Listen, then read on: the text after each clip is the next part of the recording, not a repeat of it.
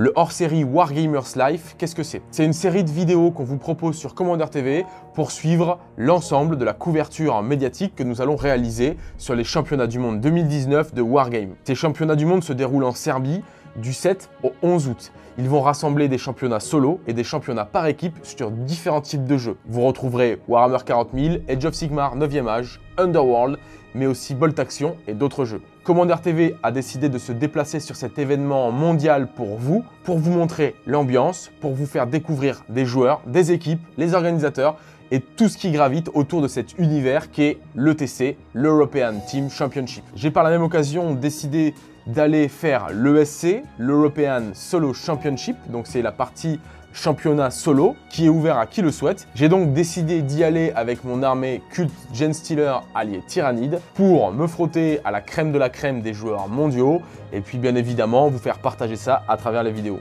Dans ce premier hors-série, bah, je vous propose de vous présenter ma liste, des réflexions et euh, de ma vision du codex actuellement. Je vous propose aussi de découvrir les six scénarios qui seront joués pendant les six parties qui auront lieu sur deux jours à l'ESC, ainsi qu'une petite analyse de mon premier match où j'affronterai le Necron espagnol. Et c'est parti pour la présentation de mon armée. Eh bien c'est parti, je vous présente donc mon armée Tyrannide allié culte Gen Stealer que je vais jouer à l'ESC, donc les championnats du monde solo de Wargame. C'est pour moi une première expérience à ce niveau de compétitivité. J'y vais clairement pour me faire plaisir, pour prendre du niveau de jeu et puis surtout pour découvrir le niveau international. J'y vais bien évidemment aussi pour mettre mon niveau de jeu à dure épreuve. Euh, je commence un petit peu à manipuler correctement le codex Gen Stealer Cult sans sans euh, prétention particulière. L'ajout de la partie tyrannide vient du fait que bah, je, je maîtrise un petit peu aussi ce, codex-là. C'est pour moi une aventure de jeu avant tout et j'y vais pour me faire plaisir. Avant de commencer, je tiens bien évidemment à remercier les partenaires qui sponsorisent la chaîne dans ce déplacement. La Fédération 40K, euh, donc la FEC, euh, qui, qui sponsorise Commodore TV. Babel Ben Minis, le service de peinture officiel de la chaîne.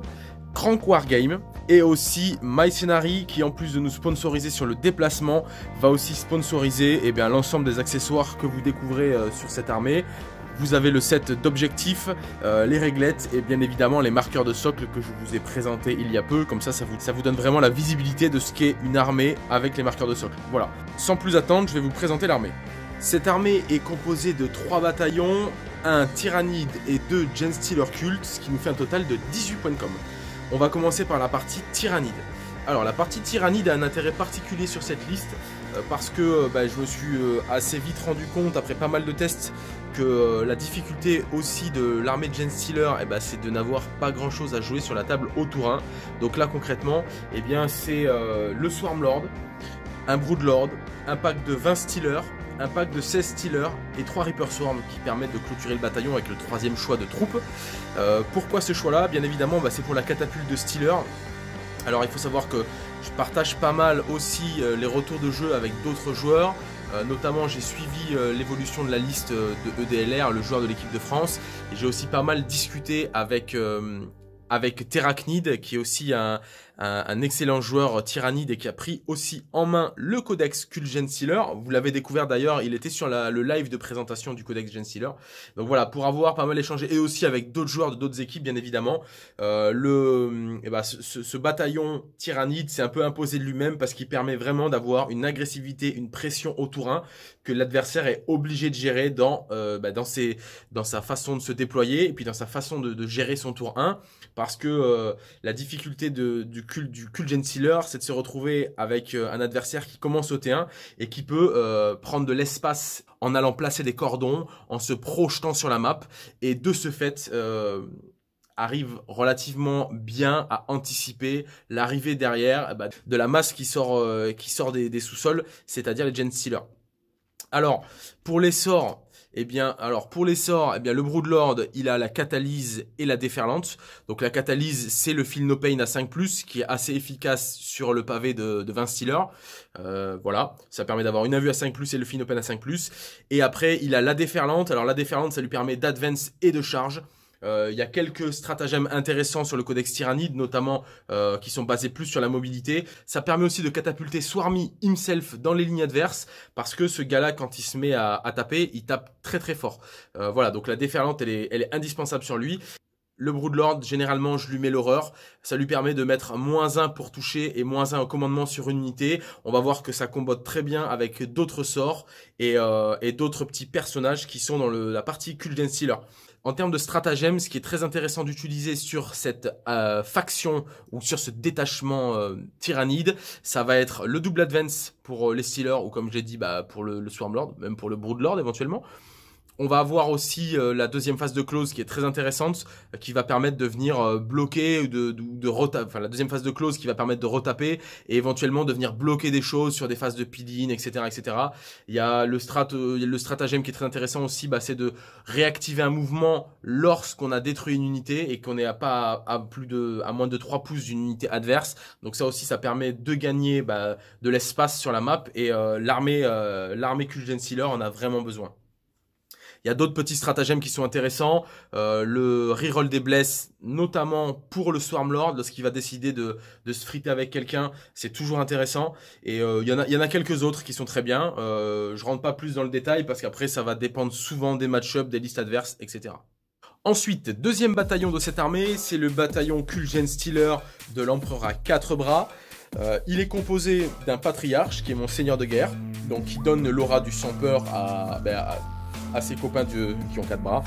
À l'Icon Ward qui lui donne, un, un No Pain à 6 à ses copains qui ont 4 bras aussi. Et, euh, et on va le voir après euh, qui donne aussi certains bonus, notamment en passant par le détachement Vigilus. Et euh, on va avoir 3 slots de troupes avec un pack de 18 acolytes avec 6 disqueuses et une icône, donc l'icône qui permet de relancer les 1 pour toucher. On va avoir un deuxième pack de 19 acolytes avec encore 6 disqueuses et une icône. Et enfin pour finir, on va avoir un pack de 15 acolytes avec une icône. Voilà, pour le coup pas de disqueuse parce que j'avais pas les points. Et pour finir, on aura le petit Clamavus qui permet de gagner plus 1 à la charge. Alors faut savoir que le culte du credo permet de gagner euh, plus 1 à la charge euh, soit au T1 ou soit à partir du T2 quand on arrive en FEP. Donc euh, voilà, ça permet d'avoir une charge à 8. Avec le Clamavus, on a plus 1, donc on a une charge à 7. Et ensuite, eh bien, pour tout ce petit bataillon, je vais payer le détachement Vigilus Délivrance Broad Surge, qui va me permettre euh, déjà d'avoir accès aux stratagèmes qui sont très intéressants, notamment le stratagème qui va me servir essentiellement sur les unités d'acolytes, c'est euh, le stratagème qui me permet d'avoir plus 1 pour blesser, donc ça c'est très très efficace. Et ensuite, j'ai encore payé un point de com pour que euh, l'Iconward euh, et, le, et le trait de seigneur de guerre de Vigilus et de ce fait, cette, euh, bête-là va pouvoir faire relancer les charges à tous ses potes à 6 pouces. Donc ça, c'est très très intéressant. Ça fait qu'en gros, qu'une unité qui arrive en FEP, euh, charge à 7 relançable. Après, on passera bien évidemment sur l'utilisation de plein de stratagèmes qui vont permettre de bien fiabiliser tout ça. Euh, voilà. Le, patriarche, lui, c'est mon seigneur de guerre, donc il aura bien évidemment un trait de seigneur de guerre. Euh, généralement, j'utilise le, stratagème pour avoir trois traits de seigneur de guerre. Et, euh, lui, le, dépendant des match-up, euh, soit je lui mets le plus 1 en attaque et en force quand je veux l'utiliser pour, pour jouer agressif, ce qui n'est pas forcément le plus judicieux dans, la plupart des match-up. Et sinon, j'aime beaucoup lui mettre le plus 3 à l'aura qui me permet d'avoir une aura de 100 peur de 9 pouces. Et euh, s'il arrive en FEP et qu'il ne charge pas, au moins les, unités qui sont encore à corps bénéficient quand même de euh, son aura. Voilà, ça c'est assez intéressant. Après, il y a, d'autres euh, choix de trait de seigneur, mais ça va encore une fois dépendre des match-up.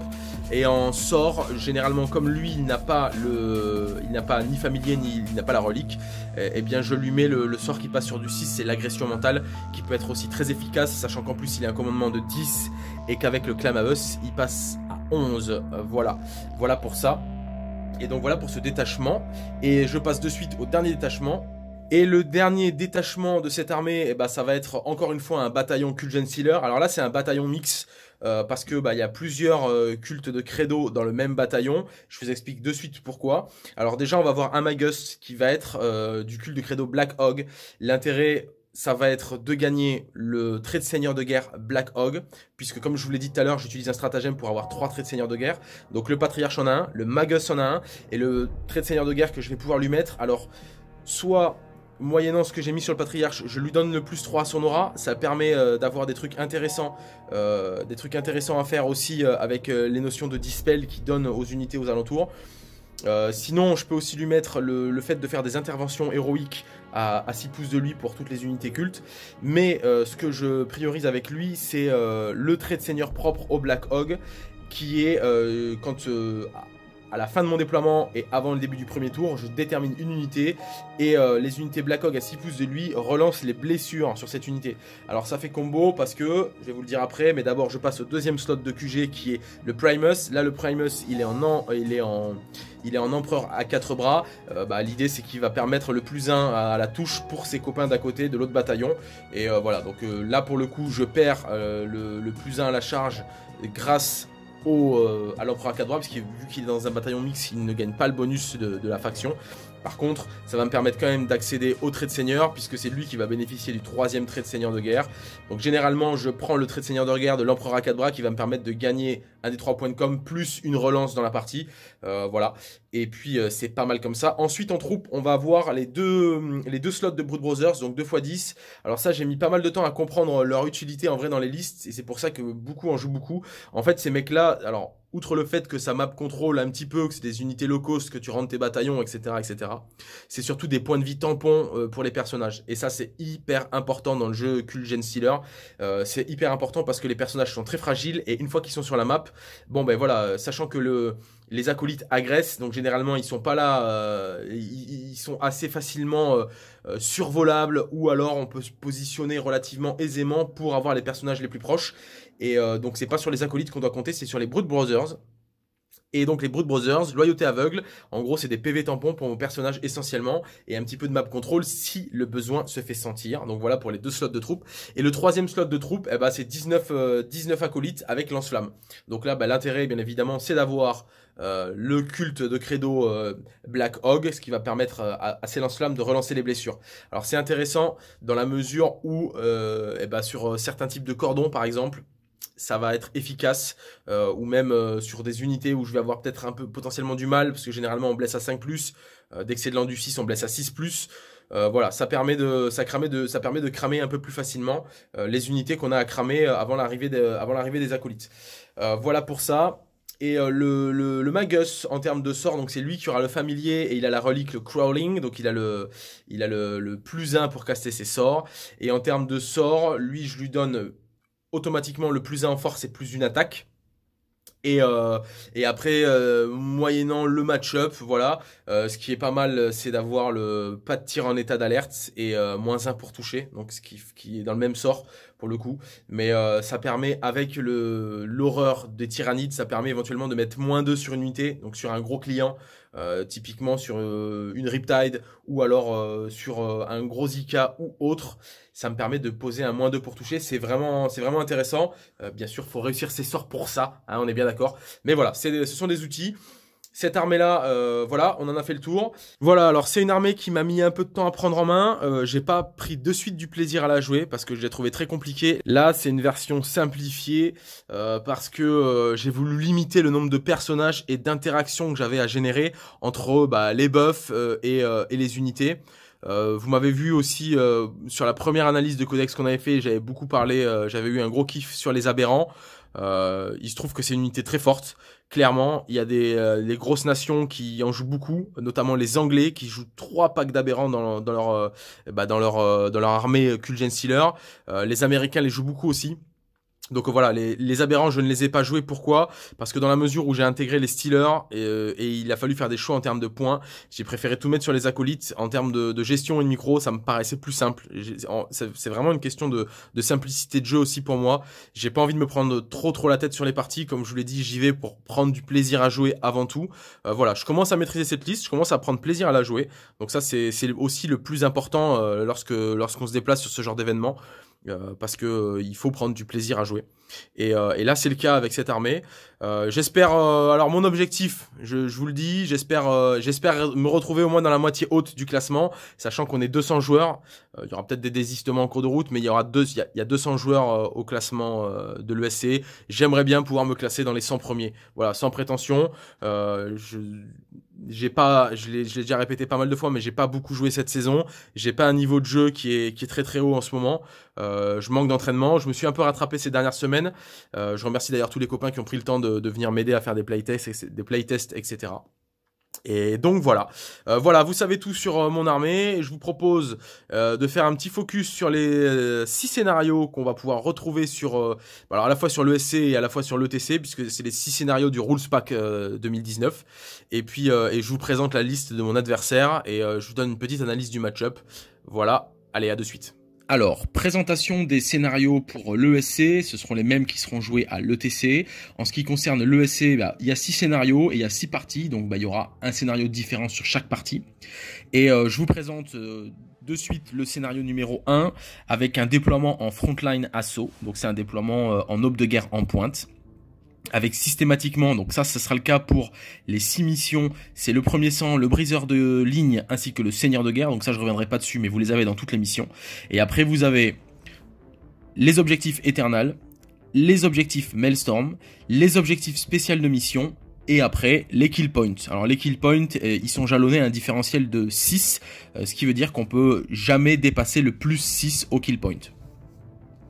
Alors, pour euh, ce scénario-là, le Maelstrom euh, se joue de la façon suivante. Donc au premier tour, on tire un objectif et, ensuite on tire autant de cartes que d'objectifs contrôlés avec un maximum de 6 en main. Petite particularité, c'est que pour 3 points de com, vous pouvez tirer une carte supplémentaire. Donc ça, c'est un, genre de stratagème spécifique à ce scénario. Donc voilà pour le Maelstrom. Euh, c'est donc un, un Maelstrom de map control, ni plus ni moins. Ensuite, vous allez avoir eh ben, l'éternal. Alors pour l'éternal, ne compteront, et là donc c'est pour uniquement la fin de partie, les objectifs 1 à 4. Donc le 5 et 6 n'ont de valeur que sur, euh, que sur les objectifs Maelstrom. Et ces objectifs 1 à 4 qui comptent à la fin de la partie euh, valent euh, un point s'ils sont contrôlés et qu'ils sont dans votre zone de déploiement. Ils valent deux points s'ils sont contrôlés et qu'ils sont dans le no man's land, donc ni, chez, ni chez vous ni chez l'adversaire. Et ils valent 4 points si vous contrôlez euh, les objectifs et qui sont dans la zone adverse. Donc généralement sur ce genre de scénario, les joueurs ont plutôt tendance à mettre les objectifs 1 à 4 euh, eh bien, en dehors des zones de déploiement, sachant qu'on peut mettre le centre de l'objectif en dehors de sa zone de déploiement et on peut le contrôler depuis la zone de déploiement. D'accord? Donc c'est un objectif qui ne vaudra pas 2 points euh, c'est un objectif qui ne vaudra pas 4 points pour l'adversaire s'il le contrôle à votre insu à la fin de la partie. Voilà, c'est un scénario euh, plutôt, euh, plutôt classique. Ensuite, le scénario de déploiement en marteau et en clume, avec une particularité sur les objectifs Maelstrom, puisqu'on tire autant de cartes que le nombre du tour. Je suis au tour 1, je tire une carte. Je suis au tour 2, il me faut deux cartes, etc. etc. Ensuite, euh, les éternals. Alors là, c'est des éternals qui vont permettre de rentrer des gros points, tout simplement parce que à partir du tour 2, chaque joueur score au début de son tour un point par objectif qu'il contrôle. Euh, si au début de mon tour 2, je contrôle 5 objectifs, je marque 5 points. Autre particularité, c'est que si vous contrôlez un objectif qui est dans la zone de déploiement adverse, vous pouvez eh l'annuler. Donc au lieu de scorer un point, vous en scorez deux. Par contre, vous ne pouvez plus, ni vous ni votre adversaire, scorer de points sur cet objectif euh, à l'éternel jusqu'à la fin de la partie. Ça peut être intéressant d'aller subtiliser avec une unité un peu sacrificielle, euh, une petite unité de, Reaper Swarm par exemple, euh, d'aller voler un objectif à la barbe de notre adversaire au début du tour 2 et l'annuler et puis après bah, cet objectif là ne, sera plus scoré. Voilà, c'est assez intéressant. c'est un scénario qui a pas non plus de grande subtilité, si ce n'est qu'on score encore pas mal au map control et euh, pas forcément beaucoup beaucoup ou du moins au début de la partie sur les, euh, les Maelstrom. Après, donc on va avoir le scénario 3 avec un déploiement en aube de guerre avec cette fois-ci en plus des objectifs Maelstrom et Eternal, une règle spéciale de mission. Alors pour les objectifs Eternal, vous allez avoir des valeurs cachées à mettre sous les objectifs, donc 2, 3 et 4. Donc comme chaque joueur pose 3 objectifs, il posera un objectif qui vaut 2 points, 1 à 3, 1 à 4. Et à la fin de la partie, eh bien, les objectifs qui sont tenus euh, euh, donnent le, nombre de points de victoire euh, en valeur de, de, la valeur cachée qui leur a été affectée. Donc ça c'est pour l'Eternal War et c'est à la fin de la partie. Pour les objectifs Maelstrom, eh chaque joueur doit avoir 3 cartes en main au début de chaque tour Et encore une particularité, euh, vous pouvez avoir une carte additionnelle en main pour chaque kill point, donc pour chaque unité détruite au tour précédent, avec un maximum de 6 cartes. C'est-à-dire que si au tour, euh, au tour 1, je tue 3 unités, et eh bien au tour 2, j'aurai 6 cartes en main. Euh, la particularité de cette mission, c'est euh, les intels. Alors ce qui se passe, c'est qu'au début de la partie, chaque joueur va déterminer trois personnages qui vont recevoir chacun un point d'intel. Si bah, le joueur n'a pas de personnage, il n'aura qu'un point d'intel sur son warlord. Et à partir du troisième round de jeu, et au début de leur tour, chaque joueur score un point par objectif contrôlé par un Intel. Euh, c'est-à-dire par exemple, euh, je mets euh, mon Clamavus en Intel et au début de mon tour 3, celui-ci score celui-ci tient un objectif, et bien je score un point supplémentaire. Donc c'est valable pour les trois Intel. Je n'ai pas le droit de scorer sur le même objectif bah, plusieurs points d'Intel. Donc si j'ai deux Intel sur un même objectif, je ne score qu'un point. Si l'adversaire a des troupes sur son objectif et que moi j'ai un Intel, mon Intel prend le dessus sur les troupes uniquement pour cette règle spéciale de mission. Donc ça ne marche pas pour le Maelstrom et pour l'Eternal. Et si, eh bien, euh, on a euh, chacun un Intel sur un objectif, après c'est au nombre de figurines, au plus de nombre de figurines euh, présentes sur l'objectif. Et eh bien, si on le contrôle tous les deux, bah, avec un Intel chacun, personne ne le score. Voilà pour cette règle spéciale de mission. Euh, c'est assez intéressant parce que ça oblige une, ça oblige une gestion des personnages euh, particulière. Euh, surtout moi avec le type de liste que j'ai, j'ai des personnages qui... Alors c'est une, une, mission qui est assez compliquée pour moi parce que avec les personnages que j'ai, je vais devoir gérer eh ben, la gestion de mes buffs via les personnages et en plus la gestion des objectifs via encore une fois ces personnages. Ça fait beaucoup de lignes à prendre en compte, c'est pas toujours évident à faire. Voilà on passe au scénario 4. La mission numéro 4 avec un déploiement en recherche et destruction, donc c'est les déploiements en quart de table. Alors celui-ci, c'est le seul où vous allez avoir 4 objectifs fixes. Les 4 objectifs sont fixes dans les quarts de table. Ensuite, eh bien, les joueurs vont placer les objectifs 5 et 6 euh, de façon euh, classique. Donc pour l'éternal, à la fin de chaque round de bataille, le joueur qui contrôle le plus de... On, on les appelle les piliers, donc le joueur qui contrôle le plus de piliers, c'est-à-dire les objectifs 1 à 4, euh, marque un point de victoire. Si le joueur contrôle les quatre piliers, il marque 3 points de victoire. Et ensuite, le joueur qui a détruit le plus d'unités dans le tour marque un point de victoire. Alors c'est peut-être un des seuls scénarios où vraiment il y a un intérêt à jouer en second. Là clairement puisque le scoring se fait à la fin du round de bataille. Donc pouvoir clôturer le round de bataille, là, euh, devient vraiment intéressant. Petite particularité encore, c'est qu'ils ont intégré là un stratagème euh, qui est euh, signal interrupt et donc qui vous permet, une fois que votre adversaire a tiré ses cartes, pour un point de com, eh d'annuler le d'annuler la carte. Donc la carte n'est pas défaussée, elle est juste annulée. Ça veut dire que votre adversaire ne peut pas scorer cette carte sur ce tour-là en sachant que vous pouvez euh, faire ce stratagème-là euh, bah, plusieurs tours consécutifs et même le faire sur le même objectif. Donc vous pouvez annuler pendant plusieurs tours un, un objectif qui est dans la main de votre adversaire. Voilà, c'est un scénario qui est, qui est pareil, encore une fois, qui est assez particulier et qui est super intéressant à jouer. Il y a beaucoup de, beaucoup de lignes à prendre en compte, que ce soit bah, le contrôle des piliers, euh, les cartes que vous avez dans les mains, ou, alors tout simplement le fait de détruire des unités. Euh, voilà, c'est un, un bon scénario, je vous invite vraiment à le tester, il est vraiment super intéressant. Le scénario numéro 5 en Vanguard Strike, donc déploiement dans les diagonales. Euh, petite particularité sur le placement des objectifs, puisque là vous aurez obligatoirement deux objectifs dans la zone de déploiement du joueur A, deux objectifs dans le No Man's Land et deux objectifs dans l'autre zone de déploiement. Alors ils sont placés de façon euh, alternative, euh, mais vous devez à la fin vous retrouver systématiquement avec cette configuration de 2, 2 et 2 dans chaque partie de la map pour ce qui est des objectifs tactiques, vous générez 4 cartes à chaque tour. Et euh, une fois que vous avez tiré vos cartes, votre adversaire euh, euh, votre adversaire vous discarde une carte dans votre main. Donc en fait, vous n'aurez que 3 cartes, puisque votre adversaire doit vous discarder une carte. Néanmoins, il ne peut discarder qu'une carte que vous venez de tirer. Si vous avez une carte que vous aviez au tour précédent, celle-là, il ne peut pas vous la discard. voilà pour, pour le Maelstrom. pour l'Eternal, eh bien, à partir du deuxième round de bataille, vous scorez un point si vous contrôlez les deux objectifs dans votre zone de déploiement. Vous scorez deux points si vous contrôlez les deux objectifs au milieu et vous scorez trois points si vous scorez si vous tenez les deux objectifs dans votre zone dans la zone de l'adversaire. À la fin de la partie, chaque objectif vous rapporte 2 points. Euh, voilà, donc du gros gros euh, du gros gros éternal sur cette, sur cette partie-là. Et, puis rien, de, rien de particulier, rien de nouveau sous le soleil, sinon pour le reste, comme d'habitude, les capés, le premier sang, le briseur de ligne, le seigneur de guerre, etc., etc. Et on passe au dernier scénario. Alors, le dernier scénario, donc la mission 6 avec un déploiement en Spirit Assault euh, pour les objectifs tactiques. Donc là, c'est vraiment la mission euh, Maelstrom, puisque au début de votre tour, vous allez choisir deux objectifs tactiques. Et euh, donc vous les choisissez dans votre deck de, vous les choisissez dans votre deck de cartes. Alors, pour chaque objectif que vous réalisez, eh bien vous générez deux cartes pour le tour suivant. Particularité. Alors, votre main ne peut jamais dépasser 6 cartes, bien évidemment. Néanmoins, sur celui-ci, vous pourrez scorer vos 6 cartes sur le même tour si vous en avez l'occasion. Euh, pour les autres, je ne l'ai peut-être pas précisé jusqu'à présent, mais vous êtes toujours capé à 3 cartes. Vous pouvez pas faire plus de 3 cartes par tour. Là, sur celui-ci, vous pouvez faire vos 6 cartes. Vous pouvez pas avoir plus de 6 cartes en main en revanche. Et euh, bah, systématiquement, quand vous réalisez un objectif, vous pouvez générer 2 cartes au prochain tour. Donc euh, du gros gros gros Maelstrom.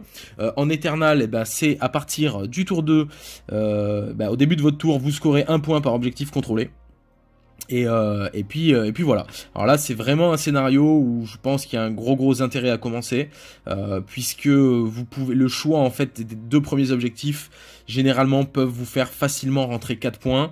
Euh, ce qui est intéressant puisque vous allez le vous allez les, scorer vous à la fin de votre tour.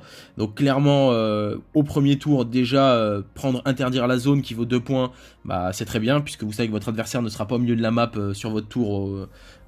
voilà, donc c'est 2 points cadeaux. Et après vous pouvez choisir défendre un objectif que vous savez que votre adversaire aura pas la capacité de venir vous subtiliser sur un tour 1. Donc, euh, donc voilà, euh, c'est très intéressant de commencer. Euh, et puis après, vous scorez au début de votre tour, encore une fois, sur l'éternal. Donc il n'y a pas de, on va dire, il a pas d'intérêt à jouer en second, encore une fois. Voilà, on a fait le tour de, ces six scénarios. Donc vous avez vu, c'est relativement diversifié. Il y a l'intégration des KP sur tous les scénarios, donc la poutre comptera toujours. Mais maintenant, il y a des scénarios où on score beaucoup, beaucoup, beaucoup de points sur le Maelstrom ou alors sur l'éternal. C'est ce qui rend ce, c'est ce qui rend le jeu très intéressant, il faut le dire. C'est les scénarios Là, en l'occurrence, les scénarios ETC euh, sont faits par des joueurs, donc euh, ils sont vraiment assez subtils et bien travaillés. Ça donne une profondeur au jeu, c'est un vrai kiff. Moi, je vous invite vraiment à les tester. Euh, nous, on ne joue que ça, clairement, on ne joue pas autre chose. voilà, c'est, c'en est tout pour la présentation de ces scénarios.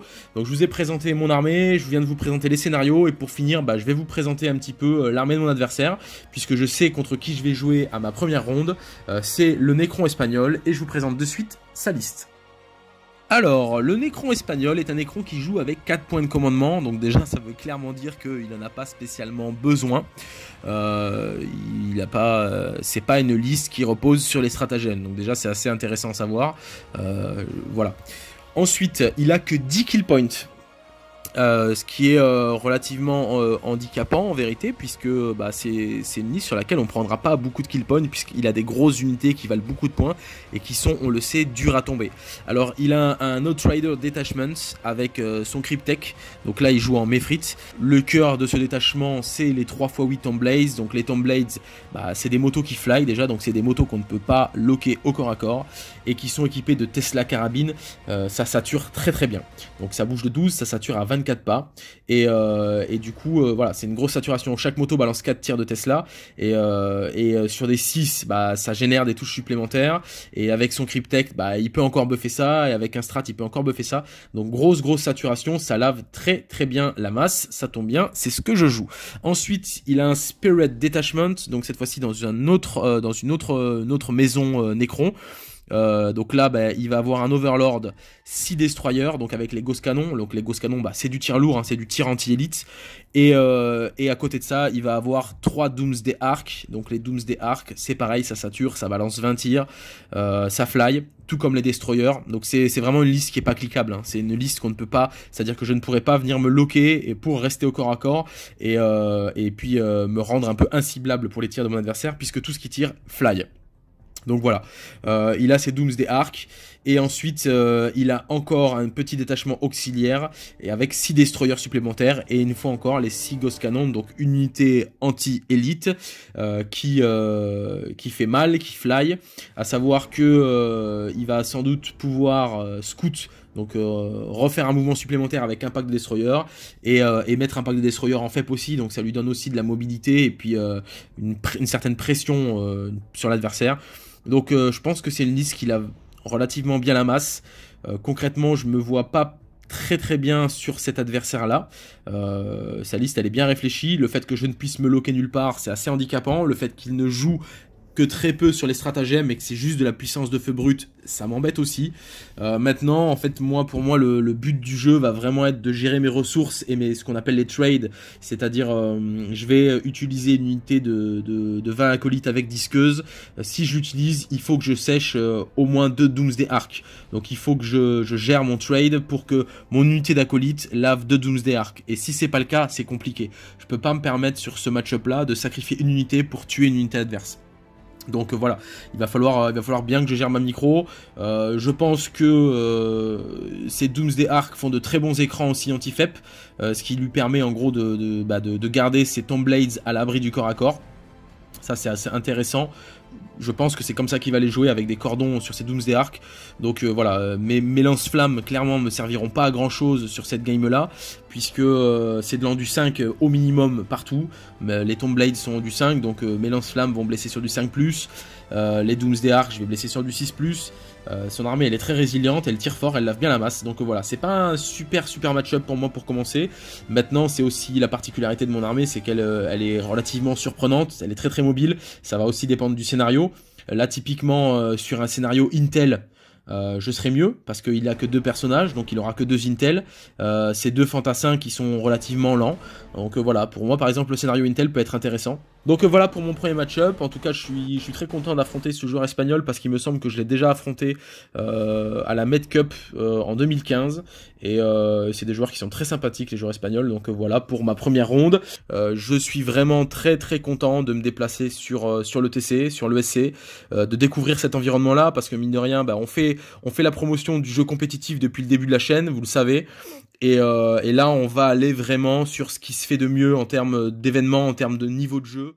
Et voilà, c'en est fini de ce hors-série. On se retrouve très bientôt pour un nouvel épisode. Pensez à vous abonner si ce n'est pas fait, à activer la petite cloche de notification, à poser le pouce bleu des familles, nous rejoindre sur Facebook, Instagram et Tipeee. On se retrouve très bientôt sur Commander TV pour de nouvelles vidéos. Ciao les amis